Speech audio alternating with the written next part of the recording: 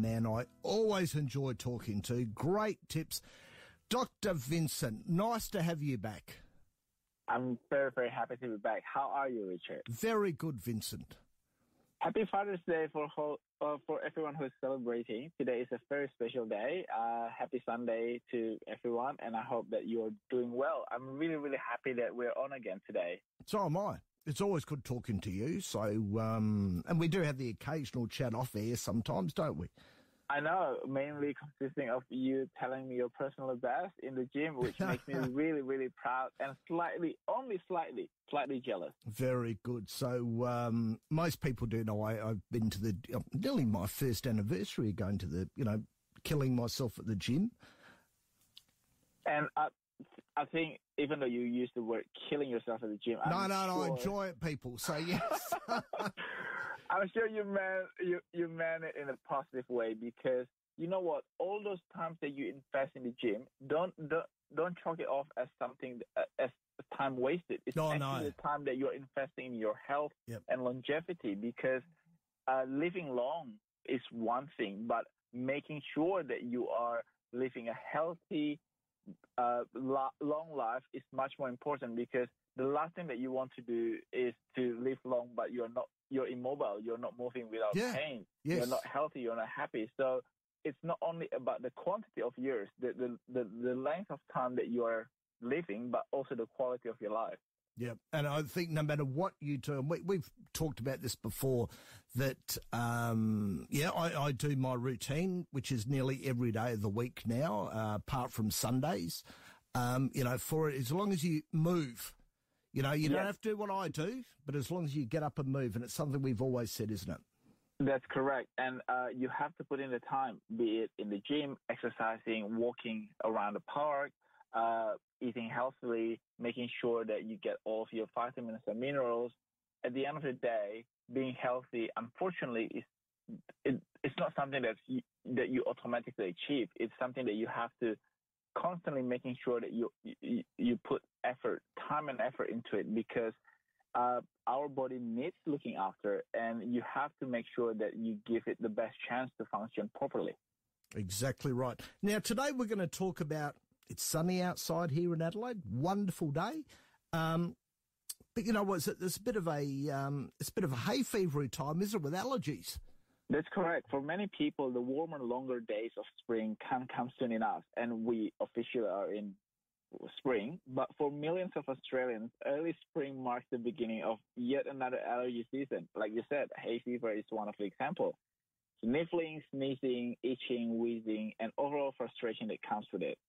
And this year, in my opinion, it's going to be a lot worse, I think, because the winter that we have, at least here in the East Coast, has been unseasonably warm, and this this means that all of these plants and flowers and, and trees they they actually blooms much earlier, and these irritating symptoms that, that is associated with pollens and spring may have already started for some people. Oh, it's, it's all like everything's like it's all the plants are out here now. I know, and what I, I'm sorry to say this, but they may actually linger until early summer. So uh, this is something that I myself have to deal with every day, and I have to make sure that not only I remove the allergen from my environment or minimize the exposure to, to the allergen around me, but I have to make sure that my body is up to task when it comes to repelling these unwanted symptoms of, of allergens around me. And you know, how do we do what? What are some nat- natural remedies to relieve all these symptoms? Oh, and what would so? F- sorry, when when we talk about allergens, where, where do we find these things? Well, allergens can mean some. Uh, allergens basically something that trigger your antibody. So it can it can it can originate from pollens, from uh, trees. Some people are allergic to certain foods or substances, uh, be it through topical uh, come in come in contact uh, on the skin or something that you ingest. But what what becomes more prevalent during during uh, spring is something that you inhale in. That's why I I mentioned something about pollens, uh, tree, grass, basically all of these particles that are spread by wind, insects, and birds. And while the na- while spring is the nature's time for it to you know, come back alive, this can also mean bad news for a lot of people because almost 20% of Australians' population have allergic disease. And unfortunately, it is predicted by 2050, 2050 that the numbers of patients affected by allergic disease can increase by 70%. So clearly, there is something in the air, no pun intended, Yeah. that makes us sick. so uh, uh, while we can't change the whole environment around us, there are things that we can actually do to make sure that our body is up to task to, to protect and shield ourselves from getting the worst of the symptoms. Okay. Natural remedies, Vincent. Yes, obviously, people with allergic reaction, especially anaphylactic reaction, needs to consult their health practitioner because anaphylactic reaction is the most severe form of allergic reaction. Basically, it affects your entire body. Uh, and the, the thing that makes us more concerned is, you know, the restriction, the constriction of your uh, airways, and, and, and that can affect your breathing. And that's the reason why people who know that they have issues or severe issues with allergy reaction, they have to talk to their doctors and maybe have EpiPen ready uh, at home because that that that could save lives. However, for a lot of us, allergic reaction may not be life threatening, but they, they they're still impacting our daily lives. So I I myself uh, can be quite sensitive towards pollen. So over the years, I have sort of kind of make a list and consciously following this list, especially at the early spring into the summer. First of all, I know a lot of people, and we I actually got a lot of comments on Instagram and Facebook that why am I obsessed with hydration and drinking water? But this is something that I cannot say because 70% That's of our body is water. And we need to make sure that we keep that, that up because when our body is dehydrated, it, it actually can't function properly. And in this particular uh, instance, when your body is dehydrated, your body produces more histamine. So histamines are actually the chemicals that cause your allergy symptoms. By simply making sure you drink enough water, that can actually help your body to fight off this allergic reaction. Now, can you just uh, just is it okay if I go to the pub and have a couple of beers? Is that staying hydrated? I'm, I would love to say yes, but but people tune into this segment for a reason, and unfortunately, I'm not going to say that don't drink your beer. But if I can just say, and please allow me to say this, for every beer you drink, drink a glass of water. Not only it saves money on the tap, but it actually it actually helps you to stay hydrated. That's right. And uh, your body will thank you the next day because when you stay hydrated while drinking alcohol, it actually minimizes significantly the risk of you having hangover the next day. so don't listen to Uncle Richard, Peter. Uh, people say yes when it comes Well, to drinking. unless when it comes to going to the gym, because I have to say, Richard, I actually you motivated me because I have to say that during winter I actually didn't. I haven't been as religiously uh, attending my gym session, but whenever you text me, it actually really seriously, it serves as a reminder. I was like, no, we talk a lot about going to the gym, and if Richard can do it, I can do it too. There we go. What else have we got? We've stay hydrated. Make sure you drink lots of water. sinus rinses because uh, neti pot that is something that uh, for some people is life saving. I don't have to do that, but if you have a lot of issues with your sinus, sinus rinse is really good because it serves as a nasal irrigation system. It cleans out it cleans out your system. It it cleans out the airways and it makes you breathe much much better. Avoid and remove allergen.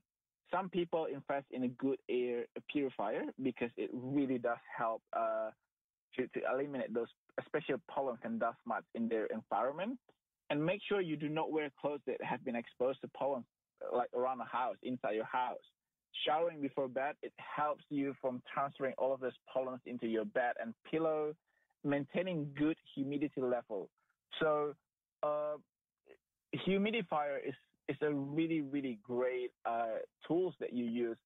I use that probably all through winter and a little bit into the spring because especially during winter when or colder months when you use heater or heating elements in your in, in your in your bedroom it dries out the air and when the air is dry it irritates your you, your airways and maintaining good humidity level in the room or in the house is actually really important in reducing and minimizing the risk of triggering your allergy level, uh, allergy reaction.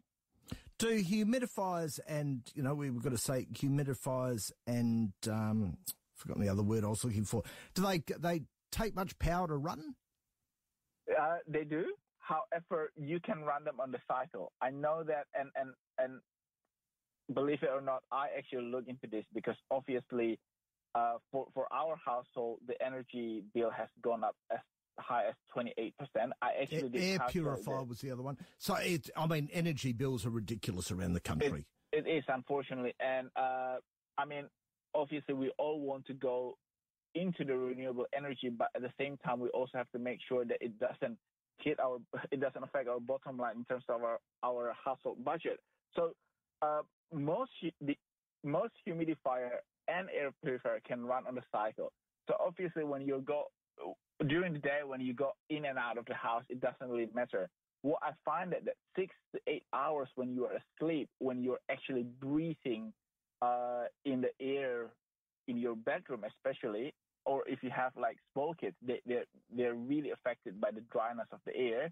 Those are the crucial hours that you need to run your air purifier and humidifier because those are the times that your body can benefit the most. Uh, so don't run it throughout the day. I don't think that's necessary. It, it will only make a marginal uh, improvement to the quality of the air. But during the night when you're asleep, I really do think that that's money well spent. And you've got a couple of natural foods to combat allergies, haven't you?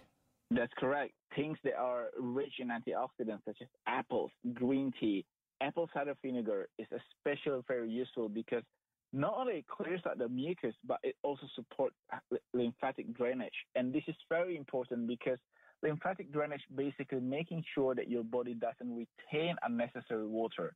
And we might not know it uh, instinct, instinctively, but when your body is retaining unnecessary water, it makes everything harder uh, in, in your biological system, including your breathing rhythm, your breathing system. So making sure that everybody everything in your body is working properly is the first step towards making sure that your body can fight off and shield you from this allergy reaction.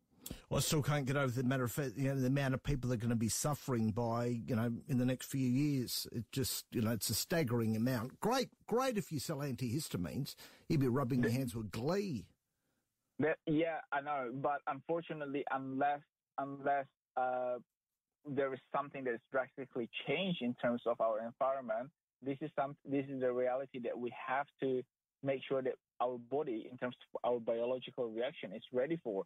And while we can't control everything that is outside of our body or outside of our home, we can always control what happens inside our body and inside our home. And I think, especially if you have young ones at home, uh, this is something that you can do at home to make sure that when your kids go out there, their body is ready in terms of protecting them from uh, things that can trigger the allergic reaction. Vincent, great advice as always. Wonderful to talk to you again. And we will be chatting soon. Where can we find out more about you? Thank you so much. If you want to find out about my research, what I do, and uh, our small business that support Australian apple farm- farmers, please go to anappleaday.com.au or find us in the vitamins aisle or skincare aisle of Woolworths and Coles. Vincent, couldn't have said it better myself. You have a good rest of the weekend and hopefully we'll talk next week. Thank you so much. Happy weekend. Thanks, Vincent. That was Dr. Vincent with, with some more great advice. Always enjoy talking to him.